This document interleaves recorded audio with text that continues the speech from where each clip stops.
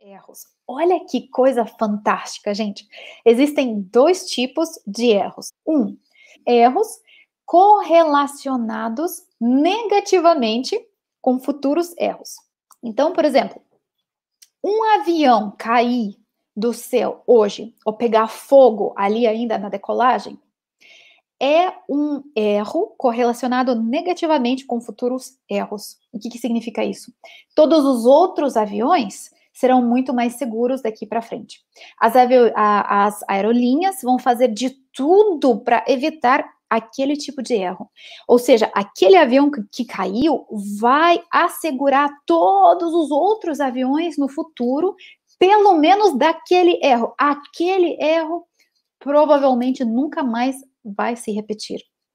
Mas o segundo tipo de erros são erros correlacionados positivamente com futuros erros.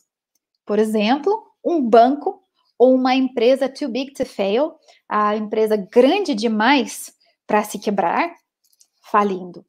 E quando um banco falir ou uma empresa daquelas falir, outras vão seguir. Logo, logo, logo. E isso é a história da crise é, anterior que a gente passou em 2008. Entendeu?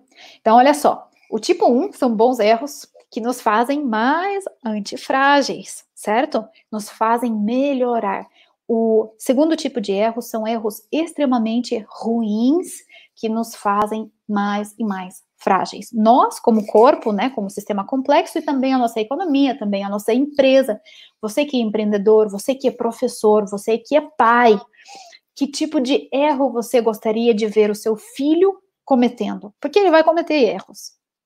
Então, seria muito melhor a criança cometer erro, aprender com aquilo e nunca mais cometer aquele erro, não é?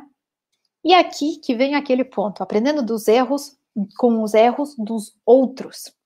Uma pessoa que erra mil vezes, mas nunca comete o mesmo erro, é muito mais confiável do que uma pessoa que nunca erra ou que repete o mesmo erro de novo e de novo e de novo e de novo, sem aprender qualquer coisa.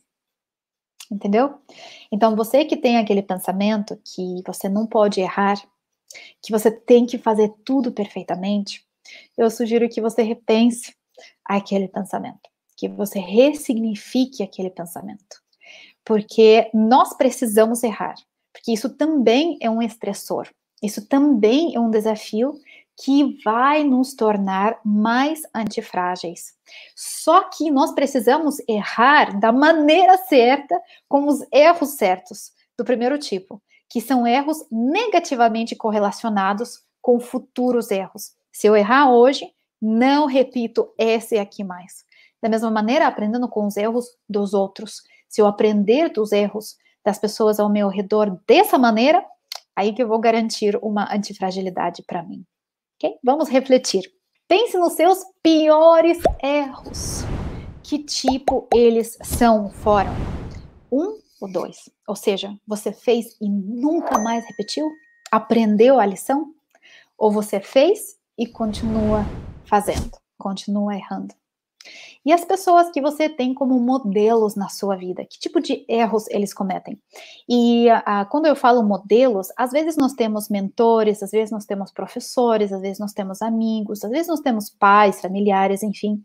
E às vezes nós temos essas pessoas e nós nem entendemos que eles não são bons modelos, mas eles são modelos.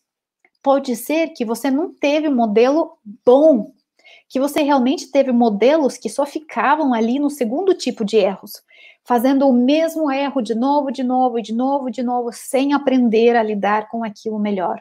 Se esse é o caso, você precisa resolver essa situação, você precisa achar pessoas diferentes a serem colocadas na sua vida, não é? Como isso reflete sobre sua fragilidade ou antifragilidade? Ok? Essa é a nossa pergunta para reflexão.